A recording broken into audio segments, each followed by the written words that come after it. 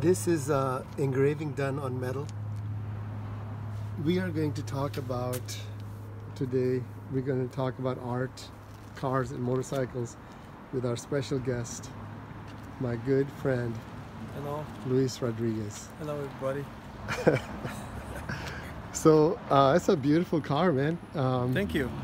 when did you get this? I got this car uh, a couple months ago. I went all the way to Redding, California, which is almost uh, the border, to, and I drove it back.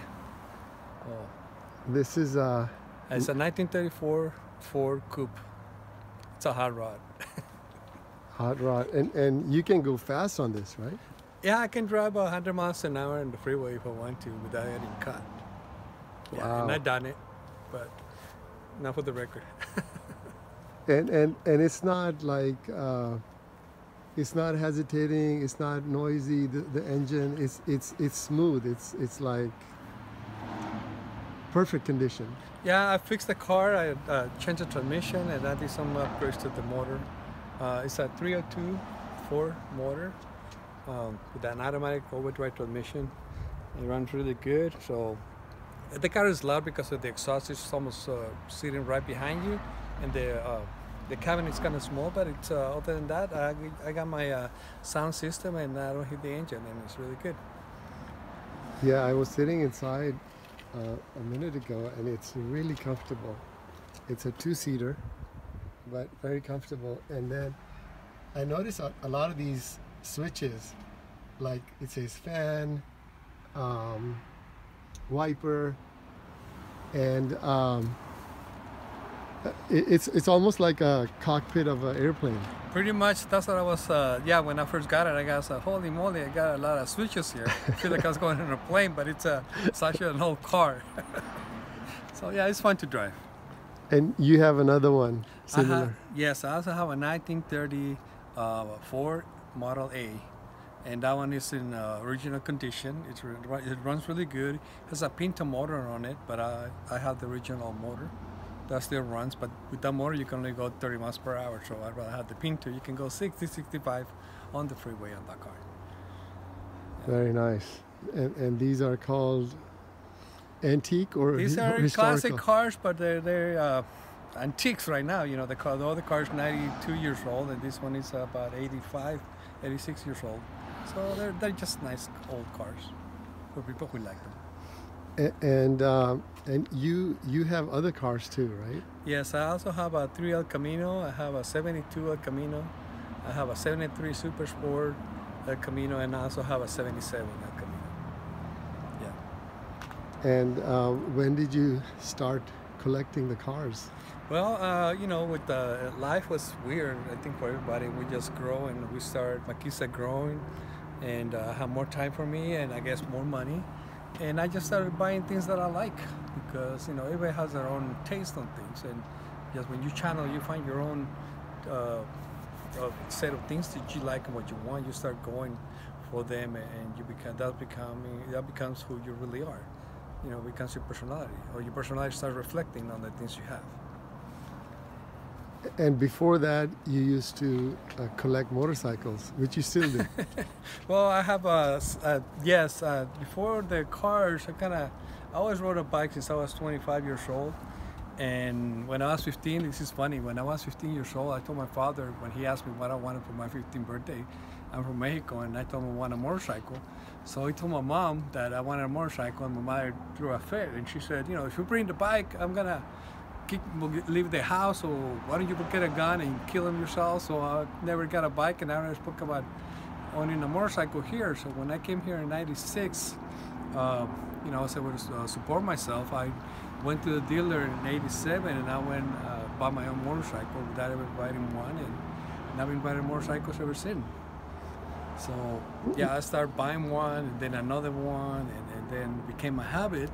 And uh, at the same time, I do some leather work that uh, for motorcycles and for cars, and I do leather tooling, and that kind of helped me to, you know, it got all click into go into motorcycles and motorcycle seats and stuff. And then my latest, uh, uh, I guess, a uh, how do you call them, uh, attribute is that I started doing metal engraving. and uh, that's another thing that uh, applies to motorcycles and to cars.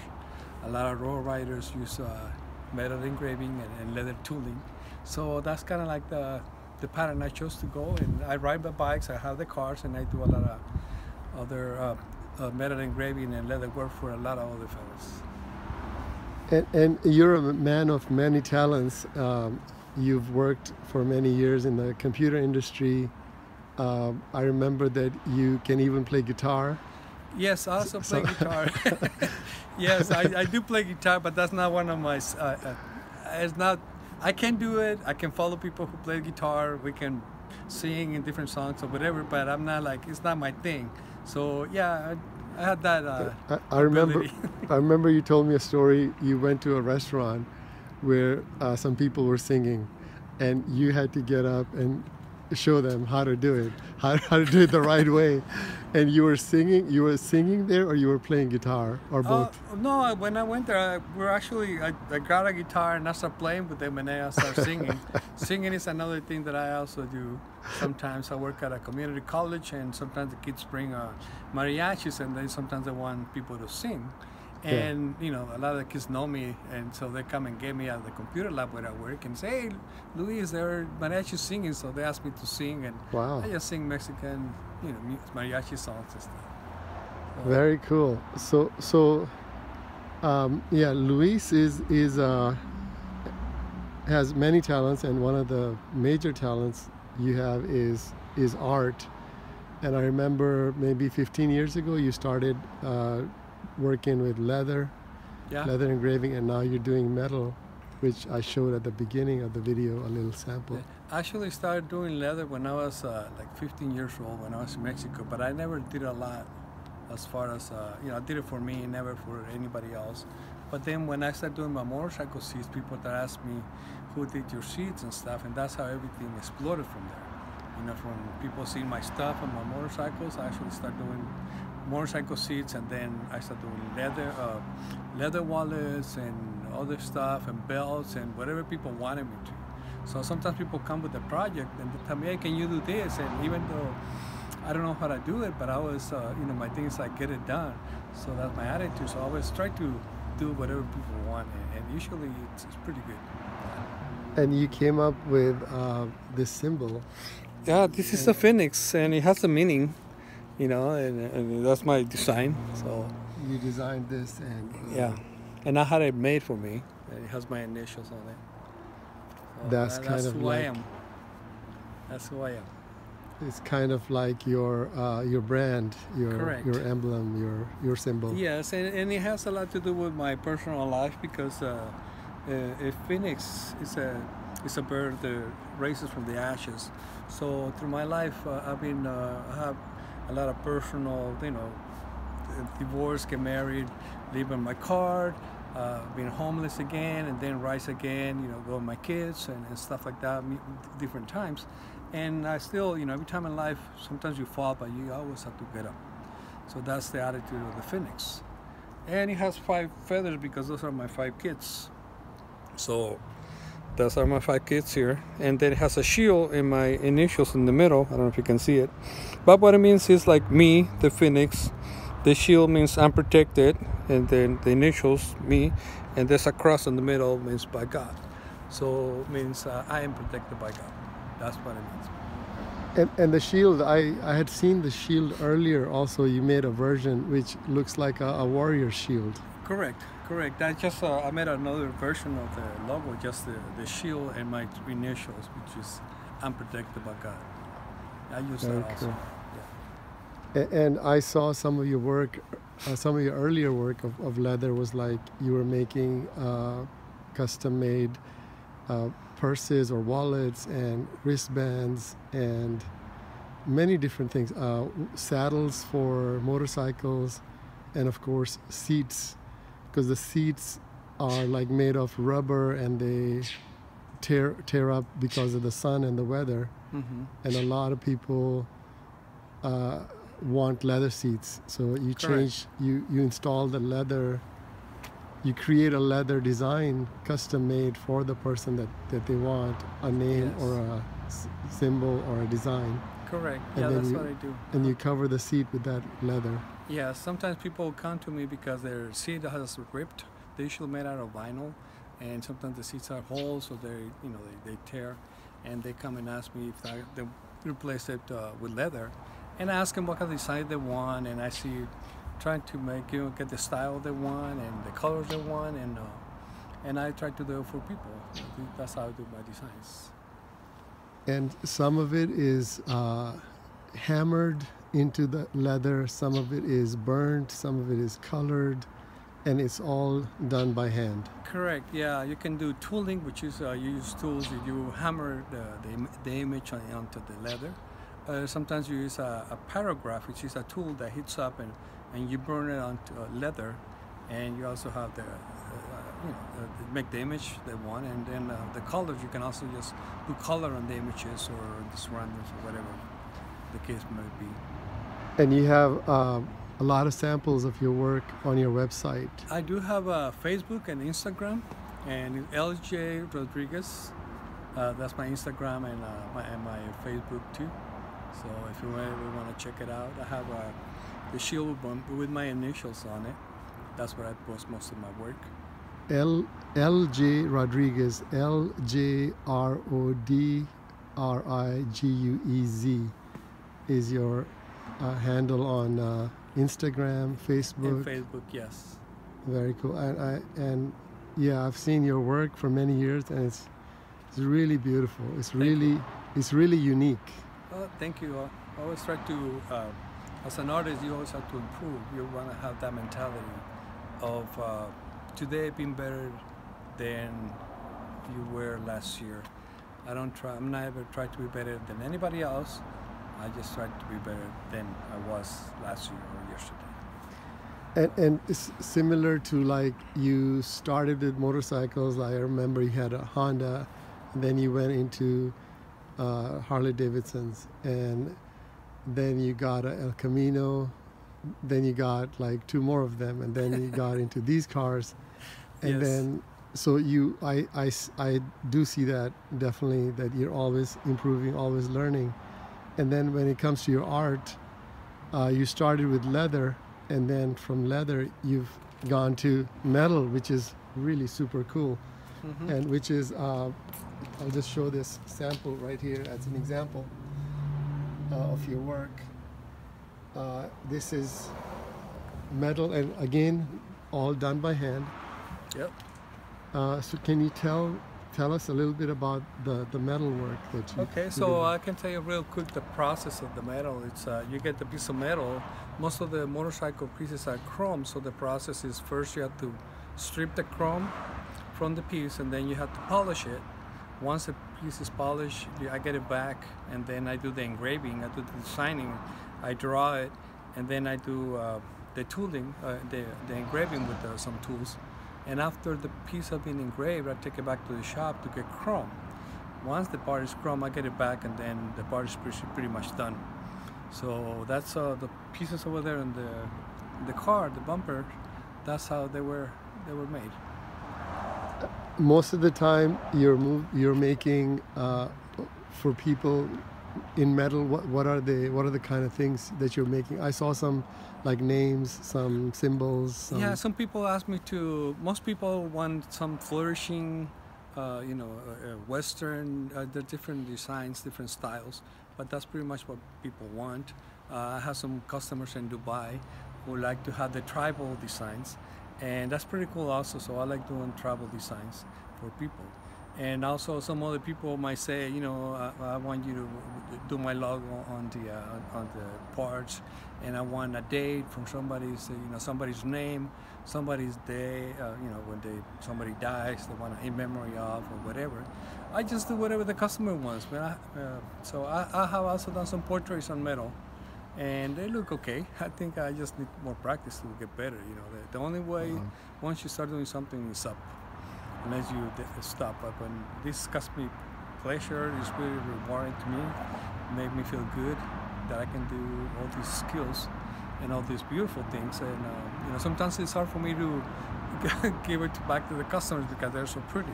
But I have to because I'm getting paid for it. But sometimes I do things for myself and I don't get paid and I just keep them and I just put them in my walls. So it's like a, so it, it is exactly like a piece of art. It is like exactly art. like Yeah, a it's painting. It's a fine art. call it. and yeah and and uh, you've been you have been commissioned to do certain art pieces and some other pieces you do on your own and and even the ones you commission you are commissioned to do sometimes it's, it is difficult to let it go because it's Yes. your piece of art your your heart and soul is in it Yes, and because my I put my my love, my heart and soul, like you say, uh, on every single piece I do. Uh, what I also do because I don't just do it for the money. I do it for personal rewarding. I feel I feel really good. Uh, I keep in touch with people who own these pieces, and we become friends. You know, I have people friends all over the United States, some of them in Europe, and also friends in Dubai. And because and I talk to them and stuff, and I have met them because uh, I like being, keeping friends for with people who have my pieces because I'm not only doing it for the money. I'm doing it because uh, it's part of me, it's piece of me, and it's my my expression of, of, of how the world, you know, I, that I, my world. Uh, well, Luis, I want to thank you for uh, your many years of friendship, and uh, uh, you you are you are inspiring in so many ways. You know, especially as an artist. Yeah, So thank you. Thank you. Yeah, I mean, I don't, I'm not better than anybody else. I'm just like everybody else running around in this wheel of life. But uh, I'm going at my own speed. And like I said, I'm not trying to be better than anybody else. I'm trying to be myself, better than myself. And if there's anybody out there who has uh, talents like uh, tattoos, or doing tattoos, or drawing, or even airbrushing, I have done some airbrush also, or just been, pursue your skills and, and get better at it and, and feel good about yourself. And just remember that, you know, some people who are better than you and some people who are worse than you. Everybody's in uh, just different stages on their on their process. So it's not that you're better than them, they're not better than you. It's just that you have to spend more time in your skill, practicing the skill to become the person and, and the quality work that you do. And if you keep doing it, you're gonna grow uh, better and better. Some people tell me, "Oh, you are a master," and to me personally, I cannot. Uh, uh, I don't accept that because uh, I'm not a master. I'm just somebody who's learning, and I like to learn more and more different things every day. So I'm just growing my skill because that's that's my path. That's the path I chose to have. So never give up. And, and I see you, um, you know, at, at any age, at, at every stage of your of your life, I see you. I have seen you, like reinventing yourself as a human being, re- reinventing yourself as an artist in many different forms of art, and always evolving, and that is really cool. Well, in life, uh, when I was 20, I, I was certain way. When I was 30, I was a different way. 40s and 50s. I'm a 58 year old man. I actually yesterday was my, my birthday. But yes, life is about evolving. Just like uh, snakes grow out of the skin, and uh, uh, lobsters grow out of the shells. We are, as, as human beings, we are the same. We don't see it because we're used to people, and actually our skin sheds every day, which is pretty much we're changing constantly. So uh, as we get older, you know, we get wiser and we we get more mature. We see things different. Uh, we start our taste uh, taste buds pretty much are change also, and we start liking things that we we, start pretty much showing our the things that we like. Uh, we have liked for a long time. Like me, I like motorcycles when I was 15 years old, but I never got into one until I was in my 20s. But uh, that's something that I, I wanted to express myself. You know, I want to express all your thing, all your feelings, your emotions from inside. You start expressing it by the things you are, by the clothes you wear, by the way you look, by how you act. Um, you start getting buying things that, that reflect your personality. So yes, you're always changing. And another thing I notice about you is like you're always like enjoying life. You know, like you're like uh, always looking for the sweetness, the the enjoyment from many different aspects of life. Yes, uh, yes, you have to enjoy life to be um, to be happy. I mean, our, our mission here is to be happy. Nobody's gonna make us happy by ourselves. No material things are gonna make us happy by ourselves. Actually, I buy my things because I'm happy, and I like enjoying my things because I that I buy because I'm happy. So it's not the other way around. And yes, you know, my kids, uh, like when I, when, for instance, when I was uh, a father, my kids were little, they grew, now they're on their own. Now I got more time for me to uh, explore what I want, what I like, what makes me happy. And, uh, you know, so yeah, I'm always trying to get that next high. Not, uh, I don't do drugs, don't smoke, never drink in my life. But I mean, the other, uh, on pleasure, on, on being happy in your life. Be at peace with yourself and be nice and kind to people who are around you and, and to always try to be helpful to somebody who needs help. Well, uh, Luis, thank you so much again. Is Well, there thank you. is there anything else you want to say in closing? No, uh, uh, just uh, I guess I can tell everybody. I just wish everybody health, and that's very important to keep your health. If you have health, you can work for anything you want, and always have a goal in your life. It is very important for you to have a goal in your life. What is it? I don't know. Maybe you don't know. Maybe I don't know. Nobody knows. But you have to look for it. And as long as you keep searching for what makes you happy in your life, and you have a goal, you work towards a goal, you're gonna achieve it at one point. And once you get there, you're gonna have another goal, and you are gonna pursue it. And it's gonna be so on and so forth. That's why we keep changing. So as long as you have goals in your life and be nice to people and are healthy, then you're gonna be okay. So good luck to all of you, and thank you for listening. Uh, I'm not a, a, a professional. I don't speak to people, or I actually talk very little. But they asked me to interview me, so I said, yeah, sure, why not? You know, maybe yeah, somebody gets a little bit uh, positive from this video, and I wish you well. Okay. Thank you for the for the opportunity. Yeah, thank you, Luis, and and for um, any viewers, um, if you have any questions, comments, you can post them in the comment section and check out uh, the work, the awesome, amazing work that Luis does um, on his Facebook and Instagram. It is LJ like Luis Jaime, LJ Rodriguez, R O D R I G U E Z on Facebook and Instagram. Thank you, Luis. Thank you. All right. Take care, guys. Bye bye. One last shot of your beautiful car.